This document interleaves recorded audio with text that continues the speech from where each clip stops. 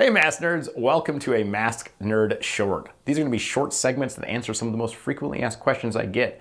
I'll start today with who am I and why am I doing this? So I'm Aaron Collins. I'm a mechanical engineer with a background in aerosol science. I happen to be a super nerd and had all the equipment that you need to do a basic test of masks in my basement at the start of the pandemic. Uh, I was confused about what mask might be the best. I didn't want to buy N95s at the time because they were reserved for healthcare workers. And I was curious, how good were these KN95s that I was hearing about and KF94s?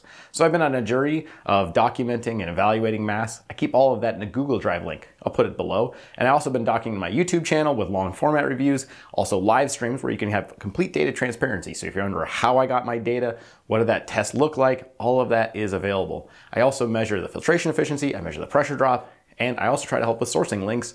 And so that's what I've been on the mission for the last year and a half. Uh, I don't know how much longer I'm going to keep doing this, but I, I want to create these, create these short segments to help answer those questions.